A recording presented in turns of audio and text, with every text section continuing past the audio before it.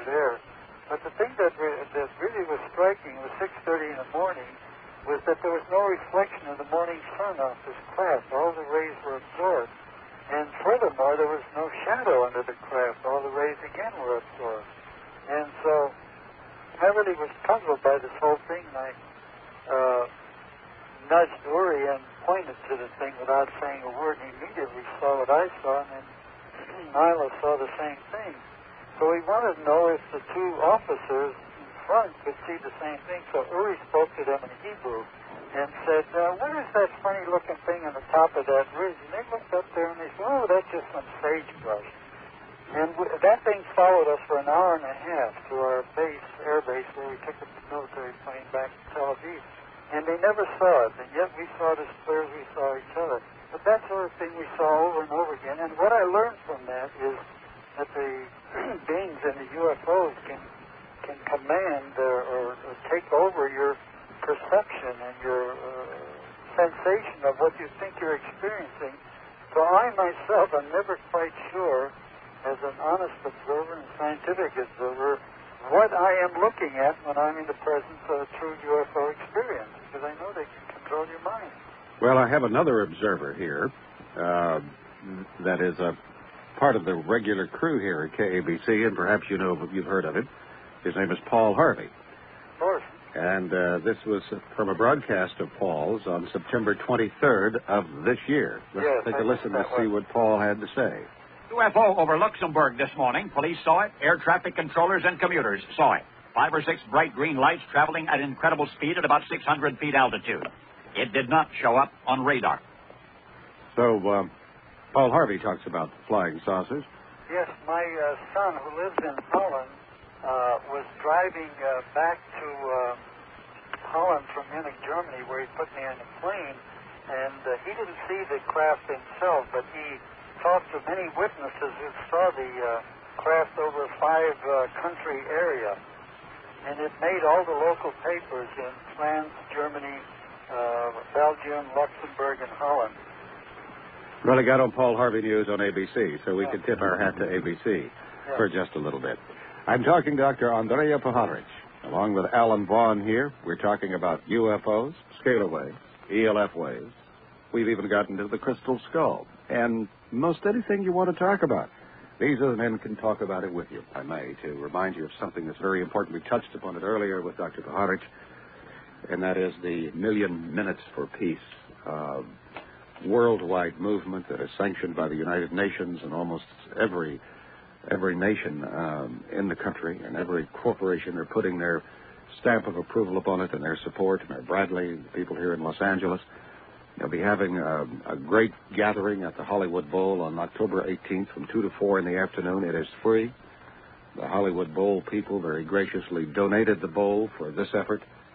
Uh, on that Sunday afternoon, I'm going to be there. A lot of people will be there we would like for you to be there. And there has been a wonderful song written to go about this idea of pledging a moment, a minute for peace. And we'll talk about the power of that. We touched upon it a little bit earlier, in a little bit. But I want you to listen to this and pledge, if you will, a minute for peace.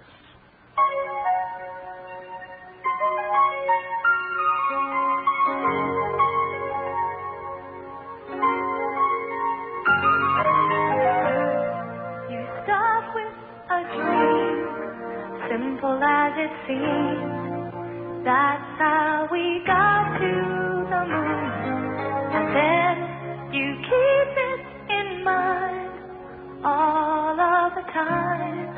And miracles really will happen. I know it's true. No matter what the odds are, if you just believe, you'll always find an answer.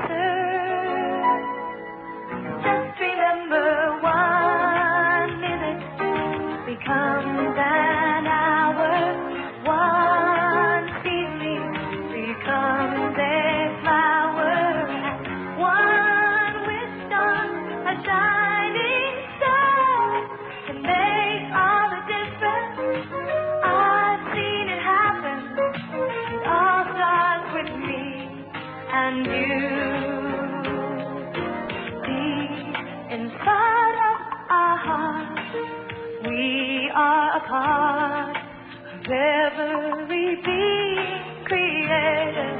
And if together we try, it's not to deny our love will unite every nation. And with this love,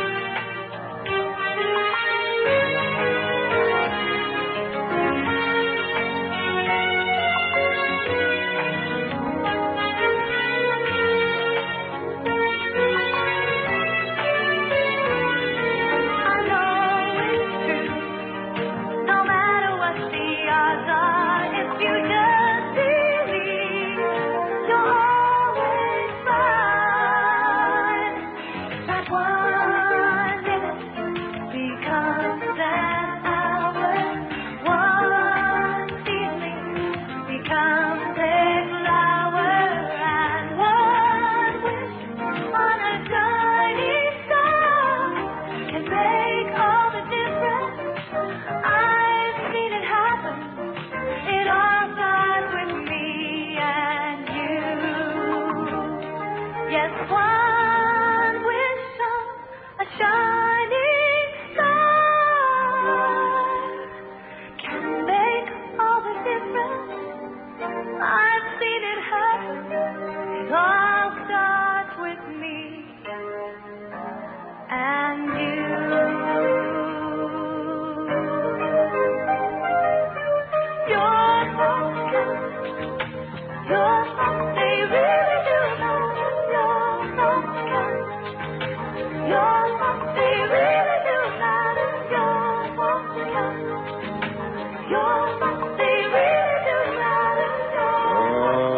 says it.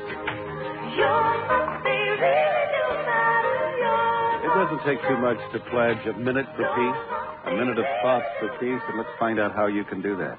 Hello, who are we talking to here? To Joan Derry. Hello, Joan. Hello, Bill. How are you? Welcome back to Open Mind. We had a marvelous time with Joan as we first talked about the Million Minutes for Peace uh, campaign that's going on all over the world.